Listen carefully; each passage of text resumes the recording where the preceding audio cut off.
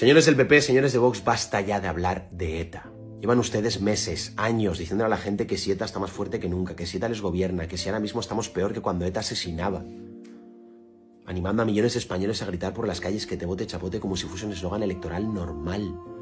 Y el otro día tenemos que ver a Feijó tirarse el debate electoral entero hablando de ETA e incluso el asesinato de Miguel Ángel Blanco en vez de explicar a los españoles qué pretende hacer si llega a ser presidente del gobierno. ¿Pero esto qué es?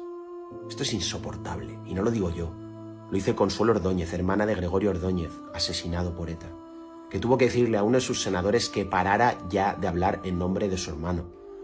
No lo estoy diciendo yo, no me lo invento yo. Lo dicen las más de 20 víctimas de ETA que han sacado un comunicado pidiendo por favor que paren de utilizar el peor eslogan de la historia de nuestra democracia porque a ellos les duele mucho tener que verlo en grafitis, eh, oírlo en la radio, verlo en Twitch, en la televisión, en revistas, por todos los lados, cada día. Pero a ustedes esto les da igual, no les importa, porque son capaces de todo, por lo que veo, con tal llegar al gobierno. Son capaces de llenar de odio el corazón de millones de españoles hurgando hora tras hora, día tras día, en la peor herida de nuestra historia reciente, con tal de llegar a la Moncloa para gobernar durante cuatro años. Y luego de ese odio que han sembrado por ahí, por todo el país, a diestro y siniestro, de ese, ¿quién se va a hacer cargo? ¿Ustedes? No, a ustedes les da igual.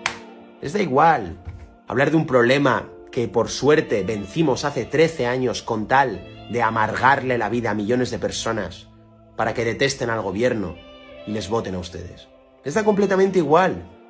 Porque de los problemas verdaderos de esa gente, del problema verdadero de los españoles, ustedes no tienen nada que decir. El año pasado, el año pasado, no hace 13 años, que fue la última vez que asesinó ETA. El año pasado. 11.000 personas murieron por causas ligadas al calor extremo. 11.000. Un calor cuyo origen ustedes niegan o se niegan a combatir. El año pasado, unas 4.000 personas se quitaron la vida en nuestro país. Y a ustedes es muy difícil escucharles hablar de salud mental. El año pasado 49 mujeres murieron a manos de sus parejas o exparejas y para ustedes la violencia de género no existe o es un chiringuito. El año pasado, los delitos de odio contra el colectivo LGBT aumentaron un 70%. Un 70%. En gran parte también por los discursos que ustedes van sembrando. ¿Y qué es lo mejor que se les ocurre? Ir quitando las banderas de los ayuntamientos, invisibilizarlos, negarles su orgullo. ¿Esto es todo lo que tienen que ofrecerle a España? Fantasmas del pasado, rencores del pasado y ninguna propuesta para los problemas del presente.